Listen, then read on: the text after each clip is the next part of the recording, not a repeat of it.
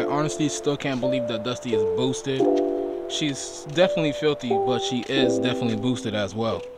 And by the way, you guys, I did actually get my roof wrap. If you guys don't follow me on Instagram, you guys probably didn't even know that. But yeah, I got my roof wrap by SNS Visuals. That boy killed it, man. As you guys can see, I went with gloss black. I didn't want to be a ricer and get uh, carbon fiber, so I went with a gloss black. It looks really, really nice. I really like the look. And if you guys do remember, I was saying a long time ago that this roof was like really messed up with scratches and stuff. I'm guessing the owner before me in California had like a cat or a roof rack or a tree that fell and scratched the crap out the paint and like they're really really really deep scratches like you could rub your fingernail in it so yeah it's can't even say that you have to sand down the the paint the primer all that and respray the whole damn car basically. So yeah I end up getting the roof wrapped gloss black and uh it looks really really good. But yeah what's poppin' playboys? Welcome back to the channel. In today's video we're gonna be installing some ebc brakes on dusty. You guys are probably wondering why i went with ebc well the reason why is because i really really needed them. Like it was asap type of thing. Soon as i went turbo and i started driving the car and i tried to do like a, a brake brake boost type of thing i noticed that the brakes just started squeaking and i was like what is that and then i tried to do it again next thing you know i heard and i'm, over, oh, I'm over here thinking it's like a pebble or something and then I took a look at the rotors and they look like this. Hopefully you guys can see that. Nah, you guys can't. Oh, wait, wait, there you go. You guys are definitely gonna see it when I take off the rotors and show you guys how they look. But yeah, bro, they started scratching like really, really bad.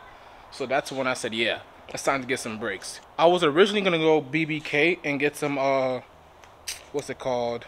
not the Type S brakes, but the RL brakes and get them power coated and all that stuff. But I really needed brakes like ASAP. So, so I took the cheaper route and bought me some EBC brakes. Uh, I did get the yellow stuff because the red stuff was out of stock. And uh, from what I see online, these brakes are amazing.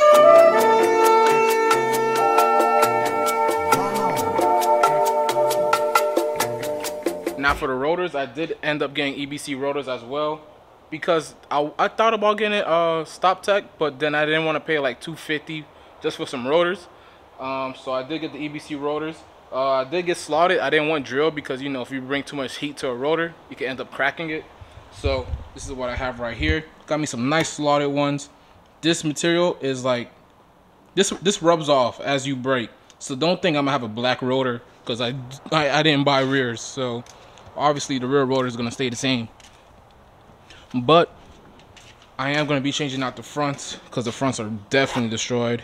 So basically what happens is as you brake, this wears off and then everything turns silver and then this stays black to keep a clean look when you pop off your wheel or just to keep a clean look so it doesn't look like that.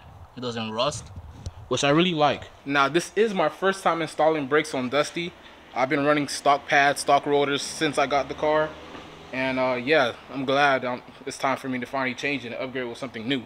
But yeah, so basically what you need to do this install, you guys are gonna need a wire brush, a brake compressor, brake, sorry, brake disc pad, whatever you want to call it, compressors.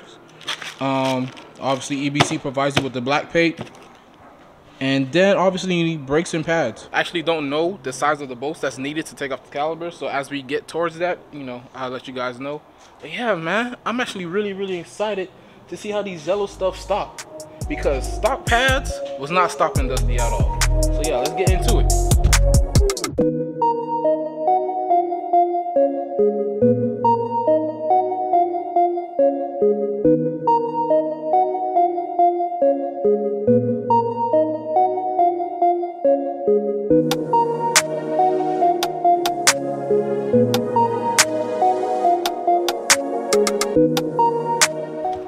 Guys, now you can see what I was talking about when I said I literally had no brakes and my rotors were done. If you guys could feel this right now, you guys are probably like, bro, what were you doing with your life? And if you could hear this, yeah, I was risking it, boy. But, good thing we got some new brakes and rotors, especially those yellow stuff. I heard so much good reviews about them on how, like, you know, good they are, the stopping power. Um, only thing I'm kind of worried about with using the yellow stuff is the brake dust. A lot of people say they do have a lot of brake dust compared to the red stuff. The red stuff apparently has no brake dust because they're uh, ceramic. I don't believe the yellow stuff are ceramic, but we gonna figure out today. Or, yeah, we have to figure out today because I have to bed them in. So yeah, um, those two bolts that's holding the caliper in, which is, which is this one right here, and there's gonna be one at the bottom. This one right here are 12s. Then there's gonna be two 14s. No, actually not 14s. Is it 14? Two 17s. That's holding in the whole caliber itself. If I was a way to show you guys, um, there's one bolt right here. I wish I had some more light, but you guys could kind of see it right here. And then there's one right underneath that. Remove those two bolts and this whole thing will slide out. I do think it's necessary that you guys remove both bolts, well, both sets of bolts, just so you could lubricate the top bolts, well, the two 10 to two 12 bolts, because they do need to be lubricated. Um, after that, yeah, you should be set. Then you'll be able to pull out the roller And I highly advise you to get an impact screwdriver from like Harbor Freight. I think they're like $10. Life-saving thing right there, bro. Because if you never try to remove one of these screws, you guys don't know the stress. It's impossible to remove it with just a screwdriver. Unless you like Hulk. Or better yet, God. But yeah, invest into one of these. And you'll be very, very happy. That right there. It's to come in handy, boy. I'm telling you, man. I'm telling you.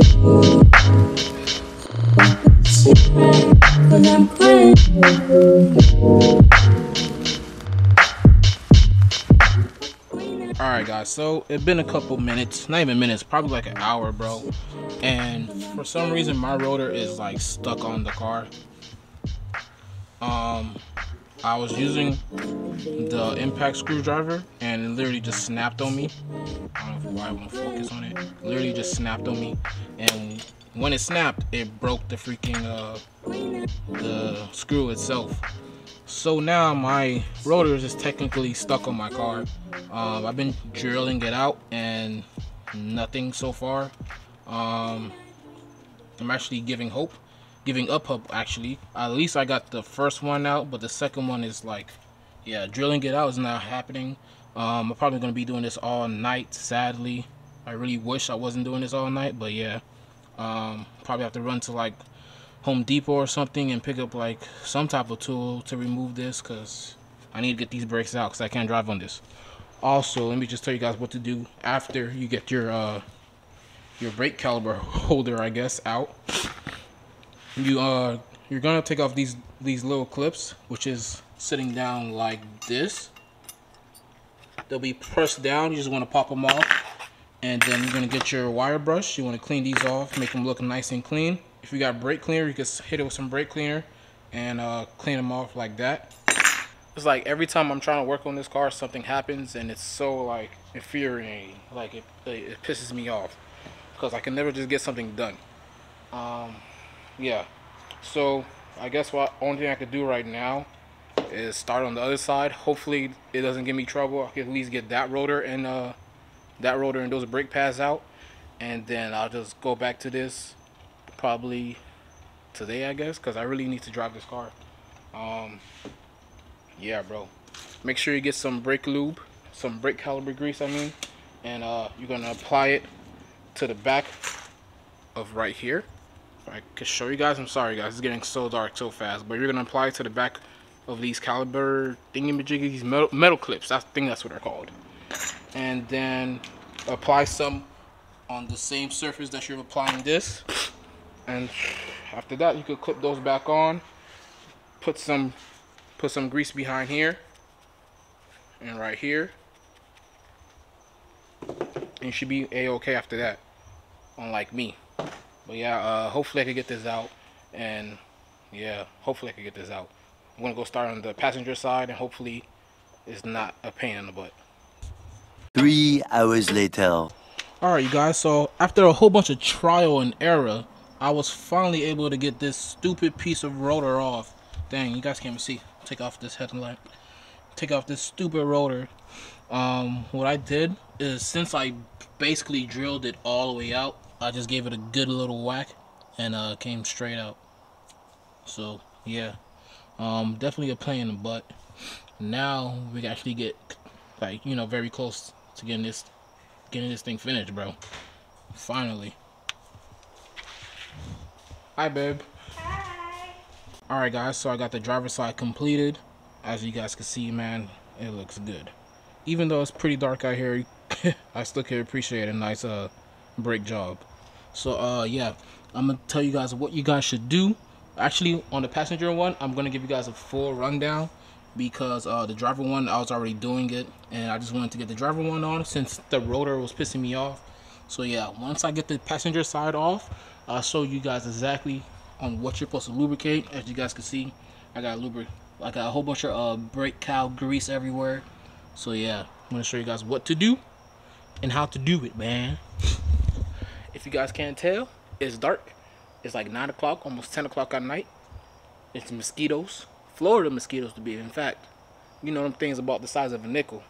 So, yeah. I'm dying. Send help. Alright, you guys. So, caliber's off. Um, I'm just going to point out the things that you guys need to do. By the way, this is my driver's side pad. See if I could get some light on it. This was my driver's side pad. Look how terrible that is. Sheesh. And this was my passenger pad. Terrible, you guys. Don't ever let your brakes get this bad. Unless you don't love your life. But yeah, terrible. Alright, so now I'm going to explain to you guys on what is needed to be replaced. Um, if it's in good condition, you don't have to replace it. Just clean it. So, like I was saying before, on the driver's side, see if I can get this angled right. Like I was saying before on the driver's side, these clips come off. So there's one on top one on the bottom. I'll pull it off right now so you guys can see. So literally, if you have a flathead, you could pry it up with a flathead, or you could just take your time and slowly pry it up with your fingers like what I'm doing right now. Just make sure you don't bend it. I said bend it. There goes one. There goes the other. So these two clips are what hold the brake calipers in. Well, not the brake calipers, your actual brakes, your brake pads. So you just want to clean up these surfaces, clean up the back of it. Just make it look as brand new as you can. If you do have some brake cleaner, spray it on. As you guys can see, mine is actually in pretty good condition. So there's no need for me to replace these things. Just needs to be cleaned up with a wire brush. Uh, probably hit it with some brake cleaner because these for some reason have way more uh, brake dust than the driver side, which makes no sense to me. But somehow it does. So I'm just gonna hit this with some brake cleaner. And uh, yeah, for this now, you just wanna clean those mating surface that had the clip on. So right here and right there, on top, on top, on bottom, on bottom. Same goes for the other side.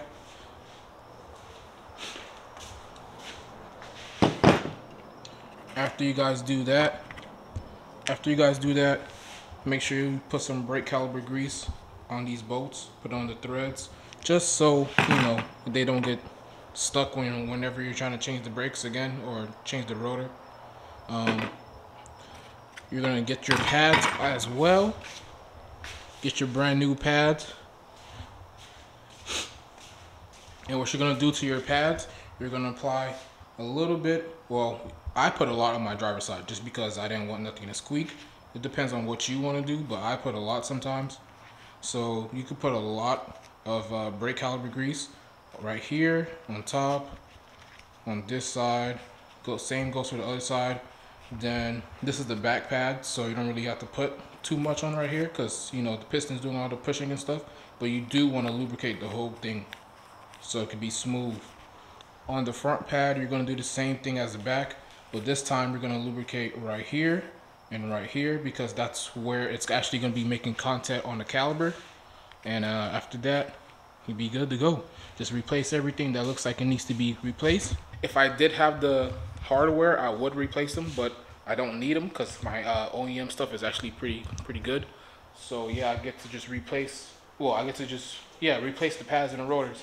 Um, for some reason, my driver's side, I noticed it didn't come with these two clips that uh, actually just hold your brake caliper in when you're installing them.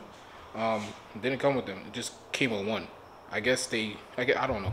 Whoever installed those OEM pads or if Honda himself, whoever dealership the guy took it to install those pads, they definitely put back one of these clips. But I never had no issues with braking. I did used to hear a little slight grind, and I'm guessing that's because one of these things were in there, so I guess the pad was touching. But uh, I'll probably go buy a little hardware hardware kit tomorrow and just install that one uh, that one spring just to ensure that I don't have any noise when I'm driving. But it's definitely not needed. You can run it without them. Well, I won't recommend it, but you can run it without one. I recommend having one on both sides if you if you can. If you don't, then you're probably just gonna have a sticky pad. All right, guys. So it's a new day, day number two, and I uh, finally got everything on Dusty. Brake pads are on, rotors are on, and as you guys can see, they look pretty nice, bro. I like the aggressive look. So now what we're about to do, we're about to go on a little drive, and uh, I'm gonna test out these brakes because I do have to break the pads in and the rotors. So from what I seen online, uh, the way you break these pads and rotors in actually is by uh, doing an 80 mile or going up to 80 mile 80 miles per hour. And slowly or aggressively I believe it was braking down to 20 miles per hour. So um, we're gonna do some pulls bro. We're gonna do some pulls give some uh, aggressive driving. And yeah hopefully break these pads in. Um, they said you have to do it twice. So yeah here we go. Or i guess i could do a 60 go up to 60 and break down all the way to 10 miles per hour but i can tell you guys right now um, the roughness i was experiencing with the oem pads is definitely gone uh, it feels very very smooth on these pads i'm not hearing crazy amount of noise like how i was before with the oem pads i do need to go get that clip though because I feel like that clip does provide some, uh, you know, some resistance with the pads touching the rotors as they're driving. Right now, I only have one clip on. Well, not the clip, the spring, or, or whatever it's called. Look like a paperclip. So, yeah, on the driver's side, I only have one of those on. I need to go buy another one. That's crazy because I these these are well the pads before with this were OEM Honda pads and OEM Honda rotors. So that's crazy that from the dealership that they didn't like they forgot to put a uh, another retainer retainer clip, which is that's mind-boggling. Like you would think that a dealership of you know that nature, Honda and California, will you know have mechanics, technicians actually that remember to put something so small and so simple on. But as you can see, braking feels pretty nice. No complaints. See, I can get a little pull right here.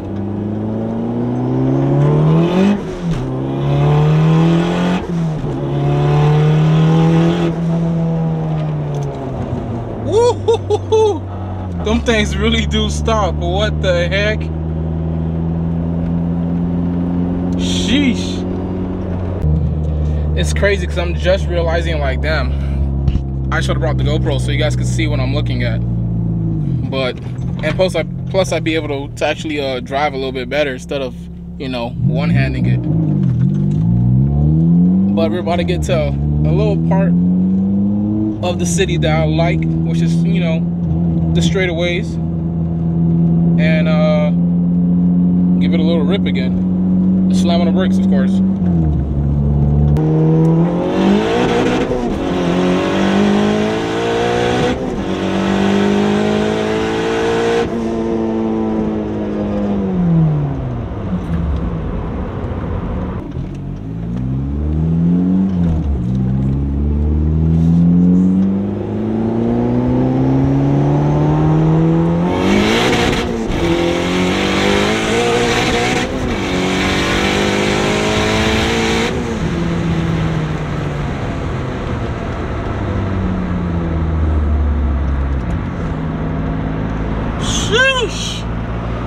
we should be good. We should most definitely be good. I can smell the brake pads. Most definitely should be fine now. But dang, bro. Woo, I can smell them things. Yeah, we should be fine, hopefully. um, go drive back to the house, check them out, and uh, see what they look like. But the car is definitely stopping pretty freaking fast. Feels amazing. For some odd reason, I keep forgetting to do outros on videos. This video was made about three weeks or four weeks ago, and I forgot to do the outro. And I'm finally, finally had the time to edit it, and now it's being dropped today. But uh, yeah, man. Hopefully you guys enjoyed the video. That install was very, very time consuming. Literally, it was supposed to take like two hours. Ended up being like six, which is crazy because it's literally just front brake, front front brake pads and uh and uh, rotors. That's all. That's all I did. But I got them on, bro. EBC yellow stuff. They stop, but boy, oh boy, they make a lot of brake dust. Like a crazy amount of brake dust. But hey, I do need a stopping power now because you know Dusty moving. But sheesh, that's a lot of brake dust I be having to deal with. Like literally, the whole wheel will turn brown. It's it's crazy. If you guys follow me on Instagram, you guys definitely seen some pictures that I be posted on my story of my wheels, and they look terrible. But this from off the video. If you enjoyed it, please leave a like, comment, subscribe, follow your boy on Instagram at underscore got the soda. Head to my site www.zooviegarage.com. Cop some merch, man. I got some fire stuff on there, and I got some new merch that's gonna be dropping pretty soon. So stay on the stay on the lookout for that. Like I'm I'm so serious. It's gonna be fire. But yeah, your boys out. Peace. Thank you.